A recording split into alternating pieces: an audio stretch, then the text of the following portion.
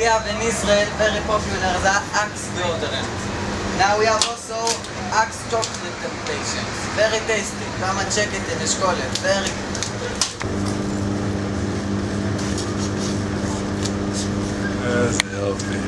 We have very popular deodorant.